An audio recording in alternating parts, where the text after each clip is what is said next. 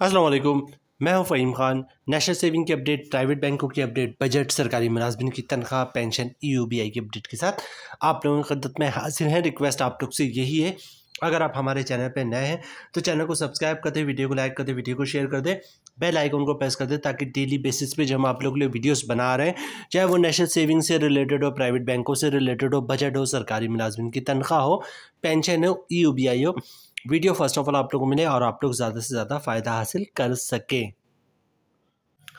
आज की जो हमारी वीडियो है, वो बहबूद सेविंग सर्टिफिकेट से रिलेटेड है, ठीक है? और आज जिस पे हम बात करेंगे वो है जनाब, एक तो बहबूद सेविंग सर्टिफिकेट के अपडेट के हवाले से। दूसरा जनाब, बहबूद पे क्या हम कंपाउंड प्रॉफिट हासिल कर सकते हैं? बिल्कुल हासिल कर सकते हैं। और तीसरा जनाब कंपाउंड प्रॉफिट के बाद जो है, बहबूद का मुनाफा क्या बनेगा या क्या होगा? ठीक है? तो इन तीन टॉपिक पे आज की वीडियो है हमारी। अच्छा यहाँ पे एक चीज़ मैं ऐड कर दूँ आप लोगों के साथ कि जनाब, जब से इंटरेस्ट रेट में कमी हुई बाईस परसेंट से twenty point five zero percent हुआ और साथ ही साथ जो है वज़ी ख़जाना मोहम्मद औरंगज़ेब खान साहब ने ये कहा कि जनाब, हम इंटरेस्ट रेट में और कमी करेंगे।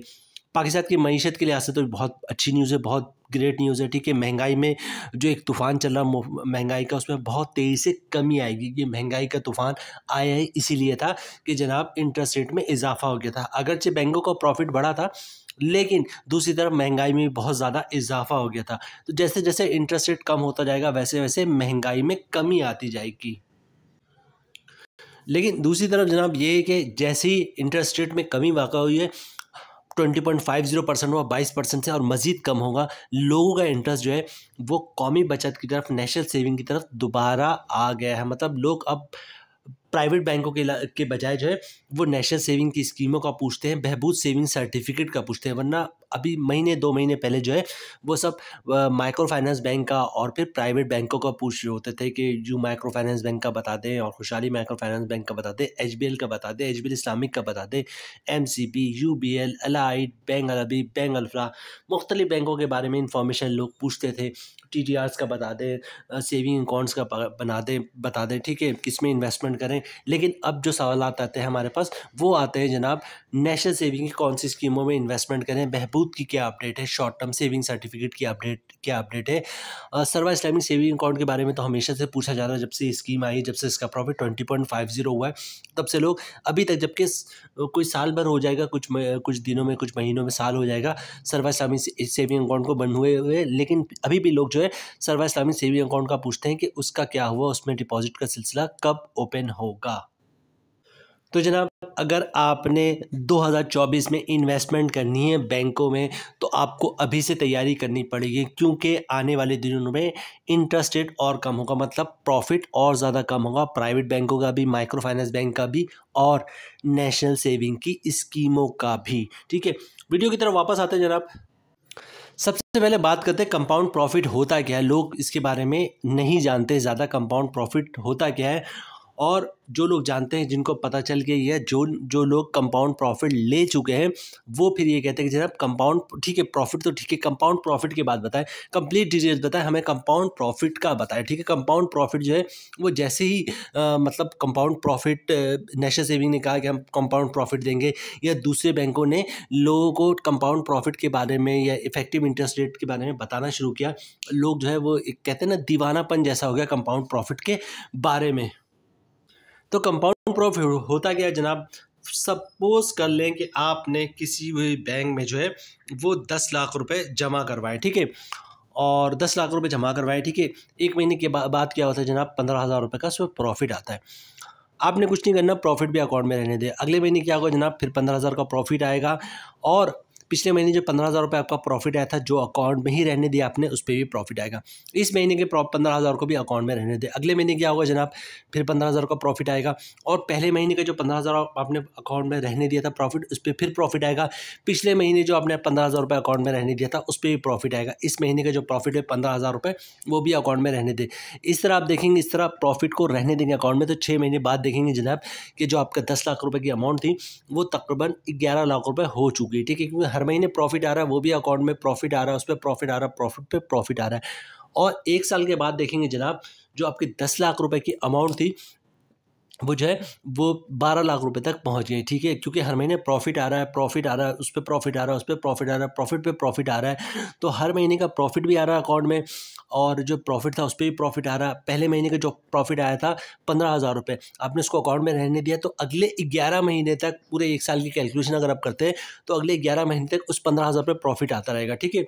दूसरे महीने जो आपने पंद्रह हज़ार रुपये अकाउंट में रहने दिया था प्रॉफिट अगले दस महीने तक उस पर जो है प्रॉफिट आता रहेगा। तीसरे महीने का जो आपने पंद्रह हज़ार रुपये अकाउंट में रहने दिया था प्रॉफिट उस पर अगले नौ महीने तक प्रॉफिट आता रहेगा। मतलब एक साल तक जो है, अगर आप प्रॉफिट को अकाउंट में रहने दें और प्रिंसिपल अमाउंट को भी टच ना करें तो हर महीने प्रॉफिट आ रहा होगा, प्रॉफिट पे प्रॉफिट आ रहा होगा, प्रॉफिट उस पर प्रॉफिट प्रॉफिट पे प्रॉफिट।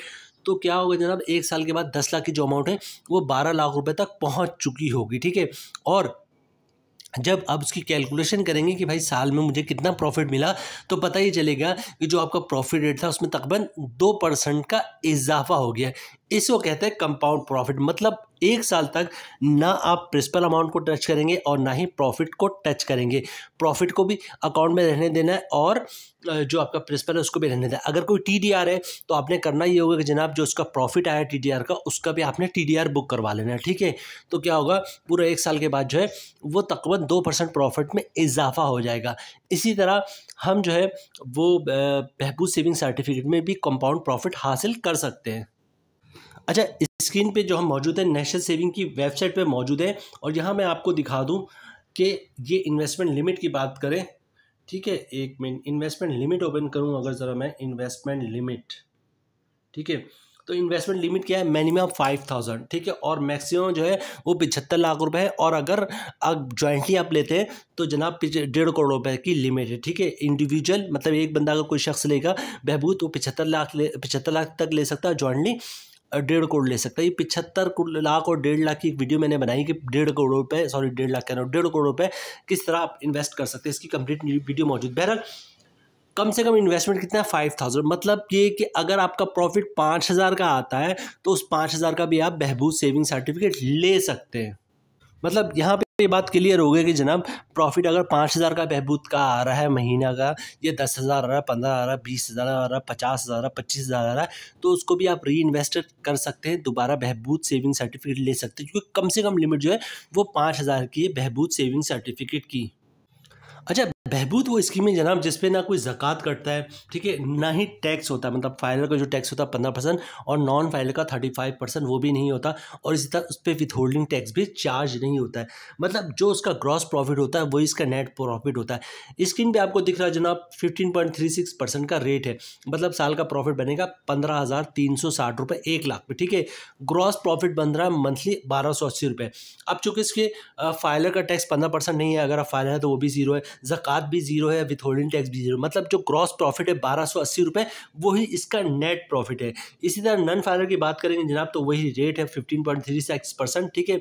साल का मुनाफा बन रहा है पंद्रह हज़ार तीन सौ साठ रुपये मंथली क्रॉस प्रॉफिट बन रहा है बारह सौ अस्सी रुपये फाइलर का जो टैक्स है, वो थर्टी फाइव परसेंट है, वो भी नहीं है जनाब, ज़क़़त भी नहीं है और विथ होल्डिंग टैक्स भी नहीं मतलब जो ग्रॉस प्रॉफिट है, बारह सौ अस्सी रुपये नन फाइलर का, वही बारह सौ अस्सी है नेट प्रॉफिट है नन फाइलर का। मतलब ये कि अगर आप बहबूद में इन्वेस्टमेंट करते हैं तो फाइलर हो नन फाइलर हो, आप ज़क़़त हो, या फिर विथ होल्डिंग टैक्स से कुछ भी चार्ज नहीं होना जनाब, जो आपका ग्रॉस प्रॉफिट होगा वही आपका नेट प्रॉफिट होगा, और करंटली जो रेट है वो बारह सौ अस्सी रुपये के हिसाब से एक लाख पे आपको प्रॉफिट मिल रहा है, ठीक है? अब कंपाउंड प्रॉफिट की बात क्या होगा? बेसिकली वीडियो में हमारे ये देखना है कि कंपाउंड प्रॉफिट के बाद क्या होता है। फिफ्टीन पॉइंट थ्री सिक्स का जो रेट है जनाब, वो पहुँच जाएगा fifteen point three seventeen point three six percent पर ठीक है? मतलब साल का प्रॉफिट हो जाएगा सत्रह हज़ार तीन सौ साठ रुपये मंथली ग्रॉस प्रॉफिट हो जाएगा चौदह सौ सैंतालीस रुपये अच्छा क्लियर मैंने आपको कर दिया कि जनाब कंपाउंड प्रॉफिट आप किस तरह हासिल कर सकते हैं ठीक है? मतलब अगर आपने आ, कोई पाँच लाख रुपए भी बहबूद में इन्वेस्टमेंट किया हुआ है आ, तो आपको प्रॉफिट कितना मिलेगा उस या दस लाख रुपए भी आपने इन्वेस्टमेंट किया हुआ अगर पाँच लाख है तो तकरीबन कितना मिलेगा? साढ़े छः सात हज़ार रुपये मिलेगा और अगर दस लाख है तो तकरीबन तेरह हज़ार रुपये मिलेगा। मतलब पाँच हज़ार और दस हज़ार की आप इन्वेस्टमेंट कर सकते हैं, ठीक है? वो तरीका मैंने बता दिया, कम से कम लिमिट जो है, वो पाँच हज़ार की पाँच हज़ार से इन्वेस्टमेंट कर सकते हो तो दस हज़ार हो, बीस हो, पच्चीस हो, पचास हो, आप बहबूद में इन्वेस्टमेंट करते जाए। अच्छा स्क्रीन पर मैं आपको दिखा दूँ आपके कंपाउंड के प्रॉफिट की बात क्या होता है? जैसे कि मैंने अपने वीडियो में बताया आप लोगों को रेट हो जाएगा seventeen point three six percent मतलब साल का प्रॉफिट बन जाएगा बन जाएगा एक लाख पे सत्रह हज़ार तीन सौ साठ रुपये मंथली ग्रॉस प्रॉफिट बन जाएगा चौदह सौ सैंतालीस रुपये अच्छा यहाँ पे बात कर लेते फाइलर का टैक्स जो है, वो पंद्रह परसेंट है, लेकिन यहाँ पर नहीं है. ज़क़़त नहीं है विथ होल्डिंग टैक्स नहीं है. मतलब जो ग्रॉस प्रॉफिट है, वही नेट प्रॉफिट है. उसी तरह बात कर लेते जनाब नॉन फाइलर की. तो यहाँ पे दिखा दूँ आप लोगों को जनाब कि वही seventeen point three six percent है। मतलब साल का प्रॉफिट बन रहा है सत्रह हज़ार तीन सौ साठ रुपये ग्रॉस प्रॉफिट बन रहा है चौदह सौ सैंतालीस रुपये और वही उसका नेट प्रॉफिट होगा चौदह सौ सैंतालीस रुपये क्योंकि ना जक़ात है, ना ही विथ होल्डिंग टैक्स है और ना ही इनकम टैक्स है। बहबूद की खसूसियात में एक जो सबसे बड़ी खसूसियात ये शामिल है कि जनाब फॉर एग्जांपल आपने आज बहबूद सेविंग सर्टिफिकेट लिया बारह सौ अस्सी रुपये के हिसाब से, ठीक है? तीन महीने बाद क्या होता है जनाब, बारह सौ अस्सी की जगह तेरह सौ अस्सी रुपये आपको मिलने लग जाता है प्रॉफिट रेट में इजाफा हो जाता है। तो आपने कुछ भी नहीं करना है सर्टिफिकेट आपका सेम रहेगा ऑटोमेटिक आपका प्रॉफिट रेट बढ़ जाएगा।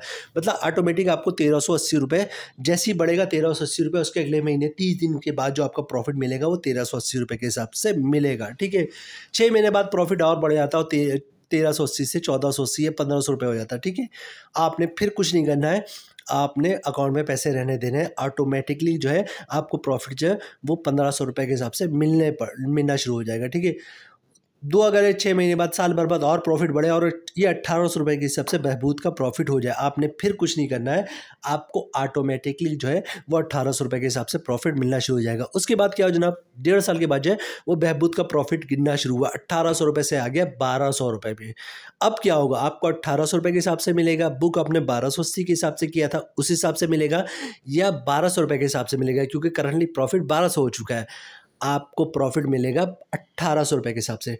बहबूद में होता क्या? आपने बारह सौ अस्सी के हिसाब से बुक करवाया, उसके बाद तेरह सौ अस्सी हो गया, ठीक है? तेरह सौ अस्सी पे जो है, आपके प्रॉफिट पे कैप लग गया। अब इससे नीचे नहीं जा सकता, ठीक है? फिर प्रॉफिट बढ़ा, पंद्रह सौ हो गया। अब पंद्रह सौ पे कैप हो गया, पंद्रह सौ से नीचे आपको प्रॉफिट नहीं मिलेगा। प्रॉफिट रेट बढ़ गया, अट्ठारह सौ हो गया। अब अट्ठारह सौ पे आपका प्रॉफिट कैप हो चुका है, उससे ऊपर तो जा सकता है, नीचे नहीं आ सकता। प्रॉफिट रेट अट्ठारह पे आपका कैप हुआ हुआ है। अब प्रॉफिट रेट कम होना शुरू हो गया, बारह सौ पे आ गया, लेकिन आपका प्रॉफिट कम नहीं होगा क्योंकि अट्ठारह सौ पे आपका कैप लग चुका है, ठीक है? अब प्रॉफिट अगर बहबूद का छः सौ रुपये भी हो जाए, तब भी आपको अट्ठारह सौ रुपये के हिसाब से प्रॉफिट मिलता रहेगा, जब तक मैच्योरिटी ना आ जाए। मतलब दस साल के लिए होता है बहबूद, जब तक दस साल पूरे ना हो जाए, आपको जब तक मैच्योरिटी ना आ जाए, आपकी, आपको अट्ठारह सौ रुपये के हिसाब से प्रॉफिट मिलता रहेगा। ये जो बहबूद को एडवांटेज दिया गया है। ये नेशनल सेविंग की किसी स्कीम को नहीं दिया गया और साथ ही साथ ना ही प्राइवेट ना ही जो माइक्रो फाइनेंस बैंक है, किसी स्कीम में इस टाइप का एडवांटेज किसी अकाउंट को टीडीआर को सेविंग अकाउंट को नहीं मिला जो एडवांटेज बहबूद को हासिल है। तो जब यहाँ पे वीडियो ख़त्म करते हैं। बहबूद सेविंग सर्टिफिकेट का करंटली प्रॉफिट बारह सौ अस्सी है। इस पे आप कंपाउंड प्रॉफिट भी हासिल कर सकते हैं। और कंपाउंड प्रॉफिट के बाद जो आपका ग्रॉस प्रॉफिट होगा या नेट प्रॉफिट होगा, वो चौदह सौ के हिसाब से हो जाएगा। ठीक है? उम्मीद है वीडियो आप लोग पसंद आई होगी। रिक्वेस्ट आप लोग से यही अगर आप हमारे चैनल पर नए हैं तो चैनल को सब्सक्राइब कर दे, वीडियो को लाइक कर दे, वीडियो को शेयर कर दे बेल आइकन को प्रेस कर दे, ताकि डेली बेसिस पे जो हम आप लोग के लिए वीडियोज़ बना रहे हैं, चाहे वो नेशनल सेविंग से रिलेटेड हो प्राइवेट बैंकों से रिलेटेड हो बजट हो, सरकारी मुलाजमी की तनख्वाह हो पेंशन हो ई हो बी आई हो वीडियो फ़र्स्ट ऑफ़ ऑल आप लोग को मिले और आप लोग ज़्यादा से ज़्यादा फ़ायदा हासिल कर सके। मिलते हैं नेक्स्ट वीडियो में चला तब तक के लिए अल्लाह हाफिज़।